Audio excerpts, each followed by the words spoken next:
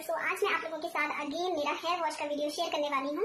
और आज के इस वीडियो में मैं यूज़ करने वाली हूँ Biotique advance Ayurveda green apple fresh daily purifying shampoo and conditioner for oily scalp and hair so आज मैं बायोटिक का ये ग्रीन एप्पल वाला जो शैम्पू है, ये यूज़ करने वाली हूँ। बट आज का जो वीडियो है, वो मेरे जो पिछला हेयर वॉश का वीडियो था, उससे थोड़ा अलग है, क्योंकि उस वीडियो में मैंने अपने बालों की जो है हेयर ऑयलिंग की हुई थी। बट इस वीडियो में मैंने अपने बालों की हेयर ऑयलिंग नहीं की हुई है। रीजन ये है कि मैं देखना चाहती हूँ और आप लोगों को रिव्यू भी देना चाहती हूँ कि बिना हेयर ऑयलिंग के विदाउट हेयर ऑयलिंग के ये जो शैम्पू है, ये आपके बालों को या फिर मेरे बालों को किस तरह से वॉश करता है, कैसा मतलब हेयर वॉश होता है तो मैं वो रिज़ल्ट आप लोगों को इस वीडियो में दिखाना चाहती हूँ। और एक तरीके से ये रिव्यू वीडियो भी हो जाएगा, ये Biotique advance Ayurveda green apple shampoo and conditioner के ऊपर। तो देखते हैं ये शैम्पू और कंडीशनर दोनों का काम करता है या नहीं, और विदाउट हेयर ऑयलिंग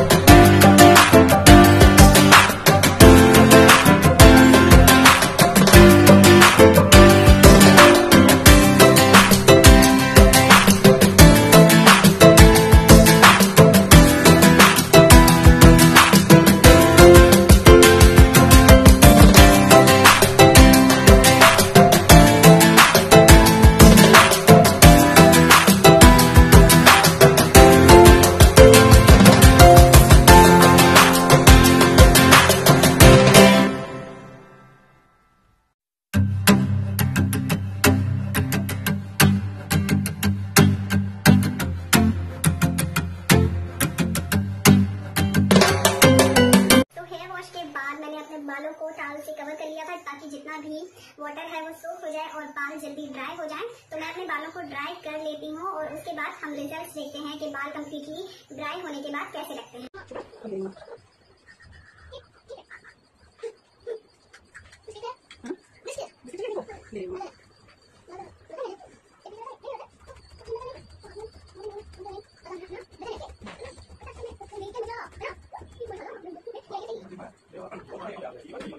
तो दोस्तों मेरे बाल जो है वो आप देख सकते हो पूरी तरह से ड्राई हो गए हैं पूरी तरह से सूख गए हैं और अब मैं कोम करूँगी सो कोम के लिए मैं यहाँ पे टेल कोम यूज़ कर रही हूँ, क्योंकि मैंने अपने पिछले हेयर वॉश वाले वीडियो में भी टेल कोम यूज़ किया था तो अब मैं कोम करूँगी इससे। और थोड़ा थोड़ा अटकन आ रही है बीच में, बहुत ज़्यादा नहीं आ रही है।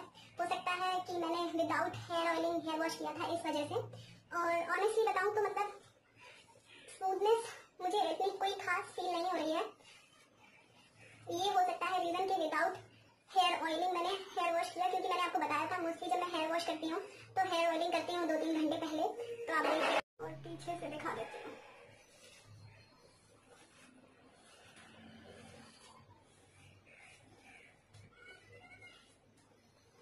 सो कोम तो हो रहा है बट बीच बीच में थोड़ी अटकन आ रही है। बट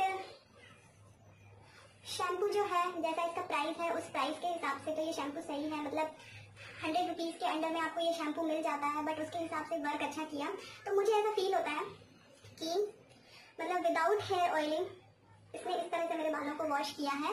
तो ऑब्वियसली अगर मैं हेयर ऑयलिंग के बाद इस शैम्पू को यूज़ करूँगी तो इसके रिजल्ट्स जो हैं, वो अच्छे होंगे। इससे भी हो सकता है आपको थोड़ा बहुत आइडिया लग जाए। तो आप देख सकते हो। So right now you can see my hair nourishment थोड़ा लग रहा है मतलब मतलब बहुत ज़्यादा ना एकदम स्मूथ नहीं लग रहा है। जैसे मैंने जो पिछले अपने वीडियो में आप लोगों को हेयर वॉश का दिखाया था, उसमें थोड़ा बहुत मुझे ना स्मूथ लग रहे थे अपने बाल इसमें उतने ज़्यादा नहीं लग रहे हैं। हो सकता है हेयर ऑयलिंग नहीं थी उसकी वजह से। सो ऑल ओवर जो एमआरपी है इस शैम्पू की मतलब हंड्रेड रुपीज़ इसकी अंडर हंड्रेड रुपीज़ है इसकी एमआरपी तो उस हिसाब से ये जो शैम्पू है काफ़ी अच्छा है बट इसको आपको ना थोड़ी सी ज़्यादा क्वांटिटी में लेना होता है और कुछ नहीं। और सबसे बड़ी बात है कि ये शैम्पू जो है ना organically pure and preservative free है डर्मेटोलॉजिकली टेस्टेड है और not tested on animal cruelty free है हंड्रेड परसेंट वेगन है। तो ये चीज़ बहुत अच्छी है और पैराबेंस नहीं है तो उस हिसाब से ये शैम्पू जो है Biotique advance green apple shampoo ये काफ़ी अच्छा है आप लोग चाहो तो आप ट्राई कर सकते हो। और इसीलिए मैं आप लोगों को पूरा डेमो देना चाहती थी इस शैम्पू का तो हो, हो सकता है आप लोगों के लिए ये वीडियो हेल्पफुल हो जाए और आप देख सकते हो मेरे बाल मुझे तो ठीक लग रहे हैं। और अगर मैंने हेयर ऑयलिंग की होती तो शायद और अच्छी लगते बाल बट मुझे फिर भी विदाउट हेयर ऑयलिंग इसने काफ़ी अच्छे से मेरे बालों को वॉश किया है। बट बहुत ज़्यादा स्मूथनेस नहीं मुझे फील हो रही है बट वॉश कर दिया है अच्छे से। सो आई होप आप लोगों को आज का ये video Biotique advance Ayurveda green apple से मेरा हेयर वॉश का वीडियो पसंद आया होगा। सो so, अगर ये वीडियो अच्छा लगा हो तो प्लीज़ इसको लाइक शेयर ज़रूर कीजिएगा और अगर आप लोगों ने अभी तक मेरे चैनल को सब्सक्राइब नहीं किया है then please do it now so I see you next video bye